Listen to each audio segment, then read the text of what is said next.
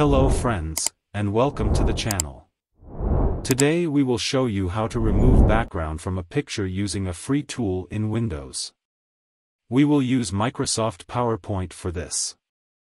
So, let's start. First you will insert the picture in PowerPoint. We have two pictures here, we will test on it. First, select the picture. Click on Picture Format. Then remove background. As we can see, it mark all background with a different color.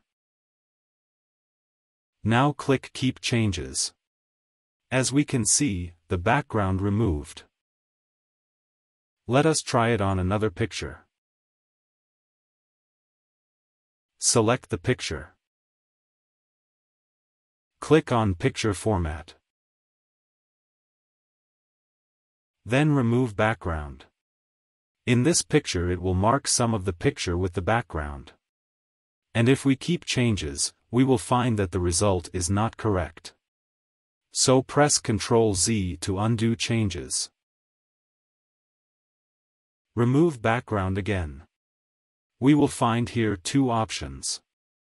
Mark areas to keep and mark areas to remove. We will use mark areas to keep. Then select areas we want to keep without removing with the background.